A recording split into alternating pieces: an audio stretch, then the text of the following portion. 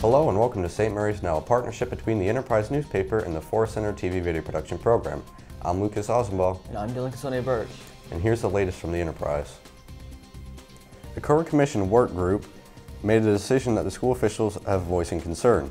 The Kirwan Commission is an initiative to provide funding and policy reform over multiple years to Maryland Public Schools.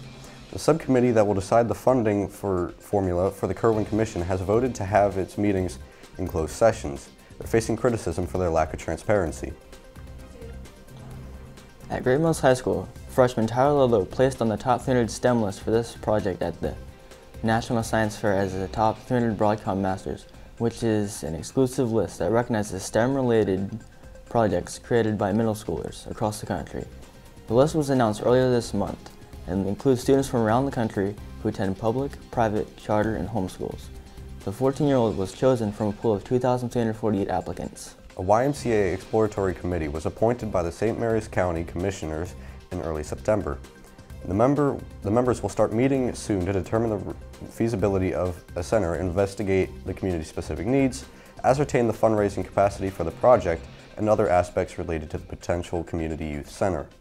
The Great Mills volleyball team, the Hornets, fell 25 to 13 and 25 to 17 in their first two sets on Wednesday. The Hornets would have to win their last three sets to achieve a victory. Bo Plotner, head coach of the Hornets volleyball team, said, Emotions were flying, and we played pretty poorly in game one and game two. Chopticon came out and had strong serves, strong hitters, and strong everything. The scores weren't even close.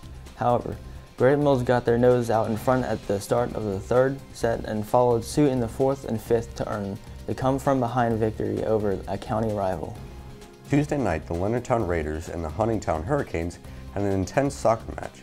The Raiders, looking for an undefeated record this season, had a tough time against the Hurricanes.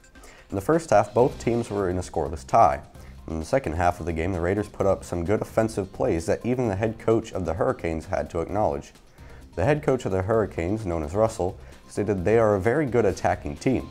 It was a struggle for both teams. In the end, the Raiders took home the win.